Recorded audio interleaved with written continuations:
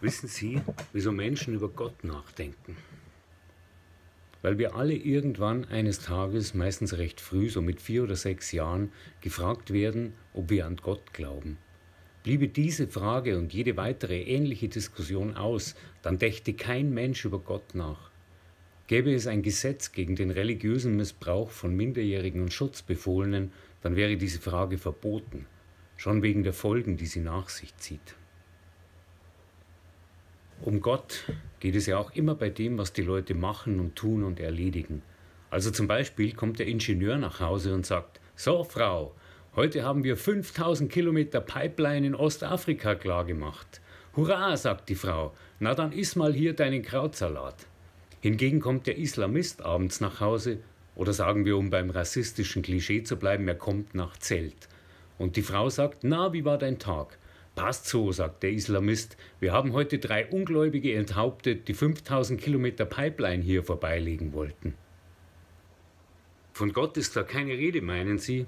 Na freilich. Und es handelt sich sogar um den gleichen Gott, der von den Menschen verlangt, dass sie Dinge machen und verrichten und erledigen, die unmenschlich sind und Tote nach sich ziehen. Hier tausend, dort tausend. Wer fragt danach, solange Gott es verlangt? Der Unterschied ist vielleicht der, dass für die einen Gott aussieht wie Dieter nur in 40 Jahren, wenn er sich nie mehr rasiert. Von den anderen weiß man das nicht, weil man sich bei denen von Gott kein Bild machen darf, nicht einmal ein karikiertes, was auch wieder angeblich der Gott selbst verlangt hat. Touché. Darf man sich diesen Gott dann wenigstens vorstellen? Das ist eine schwierige Frage, weil etwas, was man sich vorstellt, ja gerne mal im Kopf zum Bild gerinnt. Und das wäre dann gewissermaßen ein Gesinnungsverbrechen.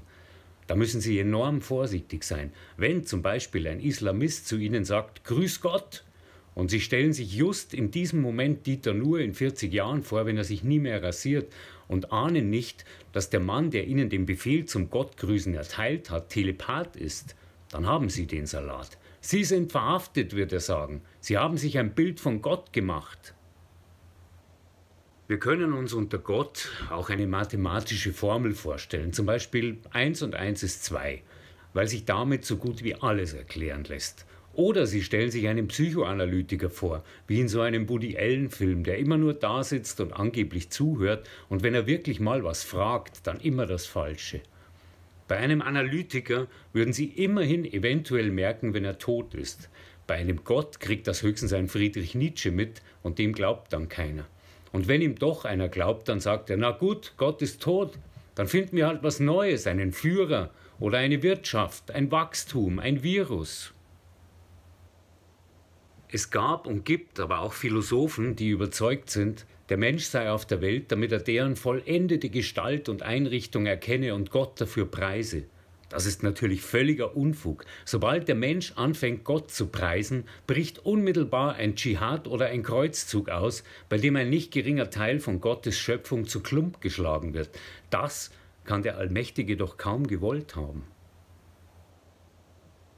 Und die Allerdümmsten sind die, die nach jedem angeblich islamistischen Bombenanschlag und jedem sogenannten muslimischen Ehrenmord erst einmal verlangen, dass sich sämtliche Muslime der ganzen Welt für diese Verbrechen entschuldigen und dafür schämen.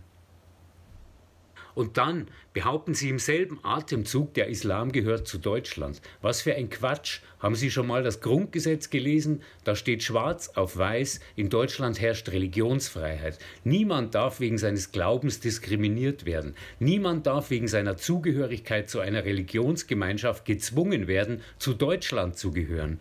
Die, die das verlangen, sind doch nur die Leute, denen es seit 70 Jahren stinkt, dass sie sich immer noch für Auschwitz schämen sollen. Die gehen jetzt und sagen, nun, ihr deutschen Muslime, wir haben jetzt die Schnauze voll, ihr gehört genauso zu Deutschland wie wir, jetzt schämt ihr euch mal für Auschwitz.